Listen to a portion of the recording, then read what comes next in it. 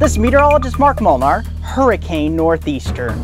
This is a segment of Weather Northeastern where we break it down for the tropical 2020 year outlook. Let's get right into the outlook forecast because many of you have been waiting for this for what seems like months or eons. Well, guess what? I'm bringing it right to you and please don't kill me. Don't have a heart attack. Don't hate on me because guess what? Yes, 2020 has been horrible. Last year, hurricane season rewind back to September. Dorian, Hurricane Dorian, horrible storm destroyed much of the Bahamas. Here is the list of names for 2020. Yes, I do believe that we will get pretty far through this list. Just how far am I talking? As I said, here is my forecast. Let's break these numbers down, shall we? Guess what? 18 to 19 named storms. You're probably thinking, MeteoMark, what are you trying to do? Are you trying to kill me here? Because seriously, 2020 has already been horrible. But guess what? We got 18 to 19 named storms. Now, if you are into tropical weather, if this is your thing, if this is the thing that gives you an adrenaline rush, well, there you have it 18 to 19 named storms. How many of these could become hurricanes? This is a lot. 9 to 10 will become hurricanes. And how many majors? There you have it. Six to seven major hurricanes. Those are category three storms or higher. Essentially, what that means is if you see over here to the right, you got the normals. Well, guess what? We're blowing it out here as far as uh, averages because this year there's going to be a lot of factors especially the neutrality, which I'm going to get into, that come together to create a year in which we could have, I'm not saying years like 2005 or anything like that. That was an unprecedented year. But it will push up well beyond what previous years of the last several years have done. So let's get right into the particulars. Neither El Nino and La Nina will pretty much be La Nada. Nothing. Nothing. And what does that mean? Usually in an El Nino year into the Atlantic Basin, we see a lot of wind shear. We see a we get some upwelling that occurs. We get con atmospheric conditions that are not as conducive for tropical systems. And then La Nina, yes, we can get some cooler weather or water sea surface temperatures. But the thing of it is, we tend to see above average hurricane season into the Gulf of Mexico. Now, neutral pretty much is the best of both worlds, so to speak, if you're looking for stronger storms. And that being said, we're not going to see a lot of wind shear this hurricane season, especially along the Atlantic into the Gulf of Mexico, especially the central, southern, Atlantic, stretching westward. But we get into later into September, into October, November. This is where I think we'll see the La Nina set in here. La Nina dipping below that 0.1, 0.2, 0.3, 0.4 Celsius mark. And that is where we could see a slip into a light La Nina here. That'll still th keep things cranking. It won't have a major effect because it takes a while for the atmosphere, as we learned the last couple years, uh, for the effects of El Nino to wear off. So that pretty much says that it'll take a little while for everything. And being that we're mostly neutral most of the year, it makes the forecast a little bit easier than it has in past years because this, if you like tropical weather, neutral phases are your friend. If you don't like it, then it's your enemy. And being that this year things have been so crazy, with everything that's going on. Many of you are probably wondering why does this have to happen now? Well, let's get right into some of the particulars. I'm going to show you where I think the biggest trouble areas are going to be. And we're starting off with your sea surface temperatures.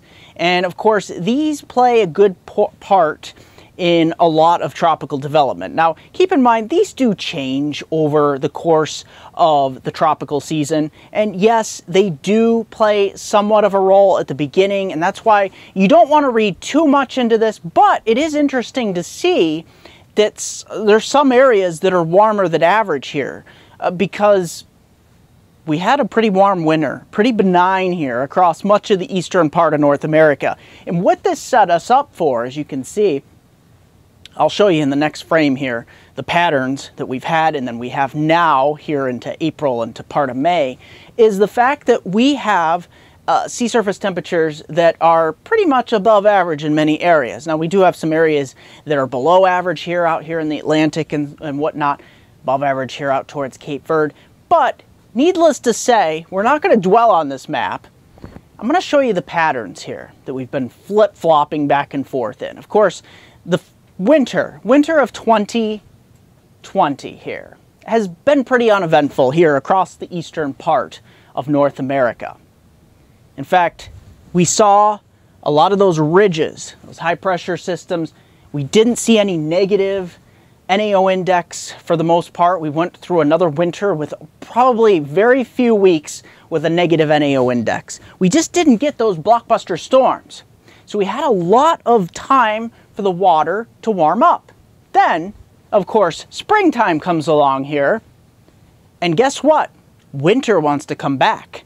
And of course, we get the troughiness here in the eastern part of the United States. Now, this is not going to stick around too much longer. So it's not going to have a major impact on sea surface temperatures from the Gulf up to the Atlantic Ocean here. So that being said, we're going to get right into what I believe the hot spots here for the North American continent from the Gulf of Mexico, the East Coast, and out here, what could be explosive development out here in the Cape Verdes. And that brings us to my hotspot map here. Needless to say, the Gulf of Mexico, yes, we've had some years in the past several years, past decade, that were tremendous. I mean, if you remember uh, the storm that went up through Texas, Harvey, that caused massive flooding, needless to say, this year, if you have interest in the Gulf of Mexico, I think that's hotspot number one here. You should not be putting your guard down here if you're from Florida over towards Alabama, Mississippi, Louisiana, and to Texas, especially the central Gulf here into the eastern Gulf. That's where things really could get cranking. The other hot spot that I want to tell you about, of course, and if you're in the Bahamas, you are probably going to want to kill me right now because this is another hot spot here right off the coast of Florida, up the east coast to the Carolinas. Needless to say, Last year with Florida, you dodged a massive bullet with Hurricane Dorian, Category 5, 180, 185 mile per hour winds.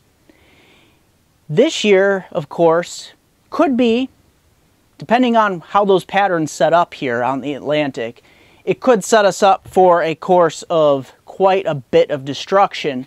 And of course, you have to look at the U.S. East Coast too, particularly up towards New England here who's been dodging the bullet for many decades now. You're well overdue for a major hurricane. That's not to say a hurricane's going to happen, but I'm just saying statistically, especially in an active year like this, you do go back to years like 1995 where we had a really active year, and a lot of those storms stayed out here in the Atlantic Ocean, which was really good news. That was good. But it all depends on how this pattern sets up at what time these storms make their trajectory along the upper airflow pattern.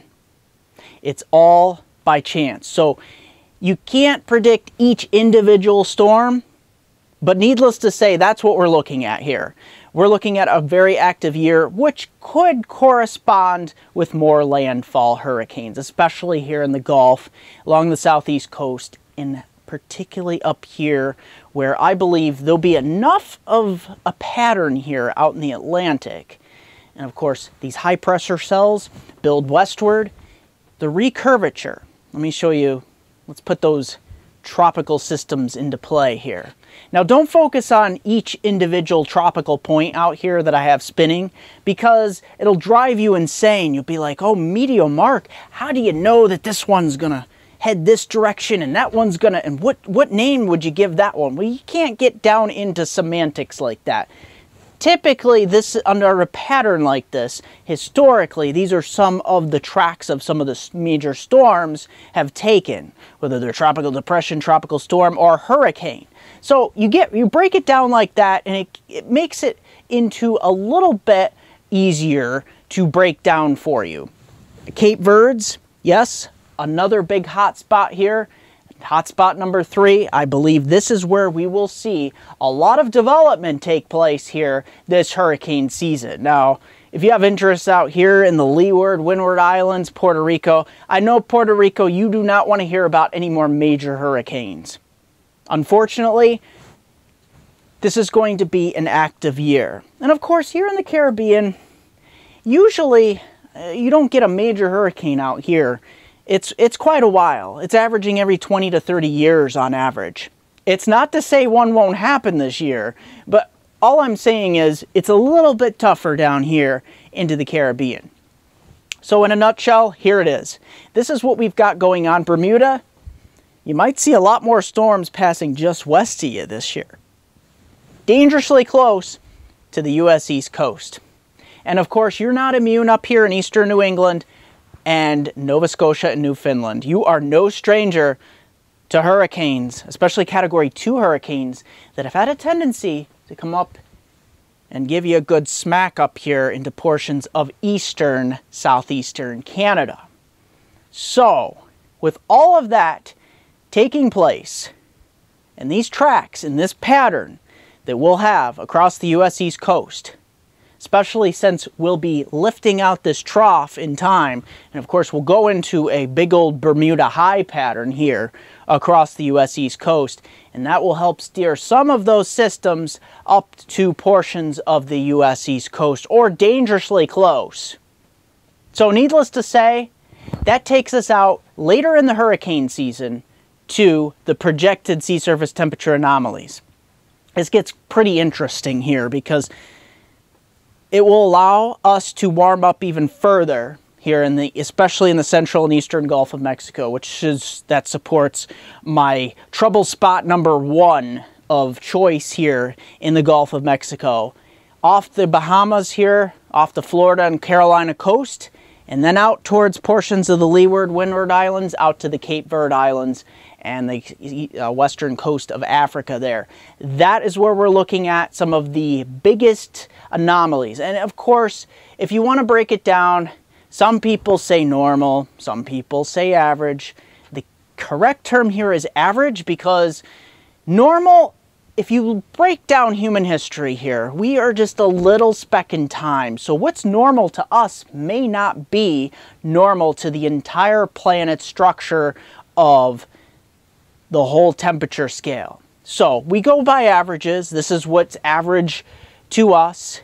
And of course, if you push those numbers up this year, this is the anomalies you get. This is warmer than average for what we have observed over the last couple hundred years. So putting that in perspective, it's a very humbling timeline that we're in. But we have to work with what we've got because records have not been being kept for a tremendous period of time.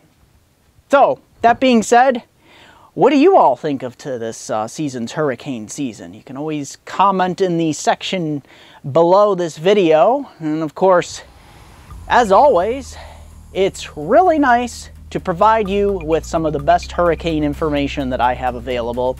And why not give me some love on social media? Keep in mind, I do keep these updates going throughout the hurricane season and my forecast area from the Northeast and North America. MeteoMark on Facebook. You can also find me on Hurricane Northeastern for all the hurricane updates. MeteoMark, of course, Weather Northeastern Facebook page. I got a couple Facebook pages. Give me some love on Twitter, WX Northeastern on Twitter. Yes, I'll do some hurricane stuff on there as well. And if you want to visit my website, meteomark.com, weathernortheastern.com. As always, I want to thank you for joining me for this edition of Hurricane Northeastern 2020 Hurricane Outlook. It's been a pleasure to bring you my prediction for this 2020 outlook. Thank you.